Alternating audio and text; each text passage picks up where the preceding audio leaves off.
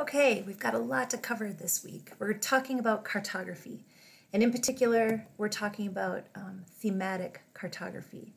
Reference maps talk about and show us where things are. Thematic maps emphasize spatial patterns that come from the data that's being represented.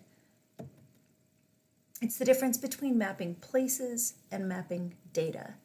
Reference map might show us things like um, bank locations, cities, roads. Um, you know, they're naviga- navigational in purpose. But reference, um, sorry, thematic maps might show us average income per county or, um, you know, population density. So, mapping data versus mapping locations. Okay, so this set of slides, we're going to talk about why making maps. And it's two sided.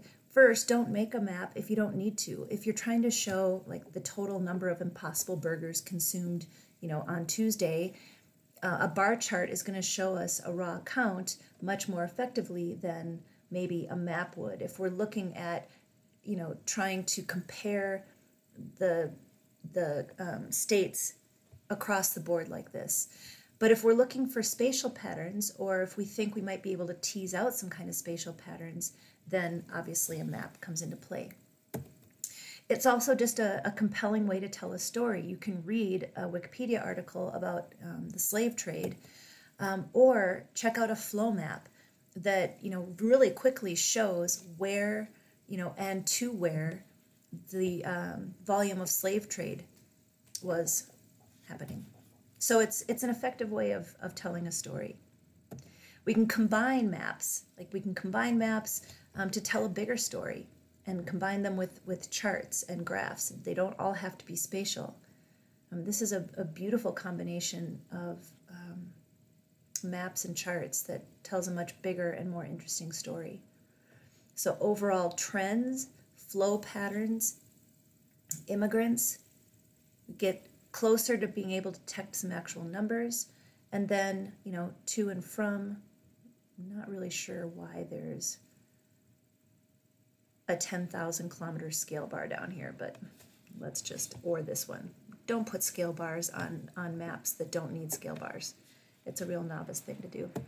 Okay, some other cool ideas for maps. This is um, this is called extruding, and you can do this in ArcScene, in ArcPro, um, or in ArcMap.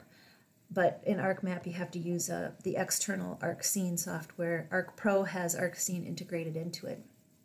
So, international passenger arrivals to Canada and the United States in 2007, and that value is being extruded in height. So, the height of the point um, represents the value that's being mapped. You have to be really careful with these.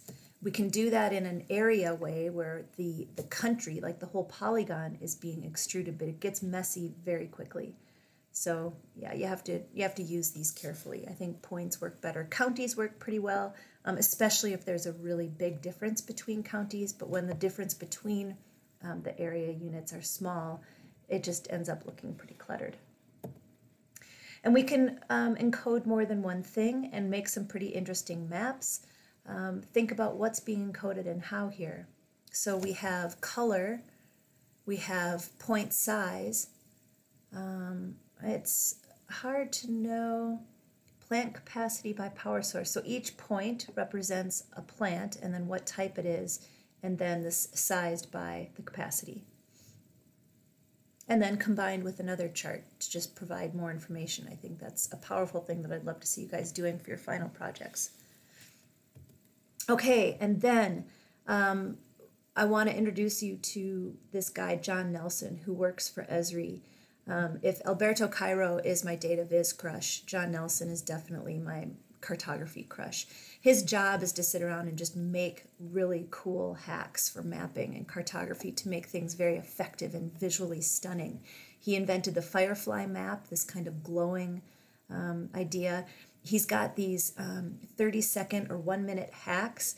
So if you go to YouTube or just Google John Nelson and Esri, he's got blogs um, he's got a YouTube channel with all these awesome, um, you know, quick tricks for for how to make cool maps, like a Lego map, um, how to make a map that looks like felt. I don't even know why you'd want to do that, but John Nelson sat down and figured out how.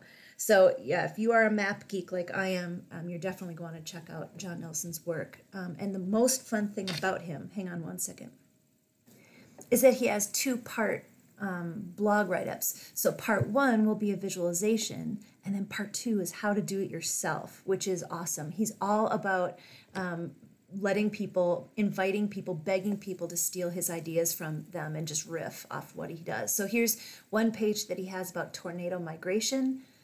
Um, he has um, created some individual maps. He's got small multiples, so tornadoes um, in each month of the year.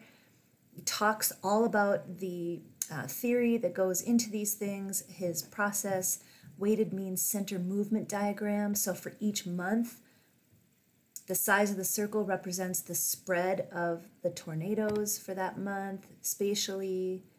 And then um, here's a look at the small multiples. And then he just decided to animate it for you. So here's um, tornado strikes by county. I mean, wow. Over the course of the year, amazing. And so, like I said, then part two would be okay, now how do you do it? And he's got the instructions. Yeah, he is absolutely incredible and a ton of fun. And um, if you go to his YouTube channel, which I think I have open here. He's got, and I'm going to have you guys watch this on the COVID Pulse. He talks through um, this awesome visualization that he did using COVID data. But I mean, here's his uh, YouTube channel, and you can see he's got playlists on terrain, Arc Pro, blah, blah, blah, one minute hacks. But then he's got all these just great videos where he shows you how to make things look historic. Um, it's it's endless and overwhelming and inspiring and challenging and um, pretty awesome. So uh, that's it for this first set, we'll get going on the next stuff.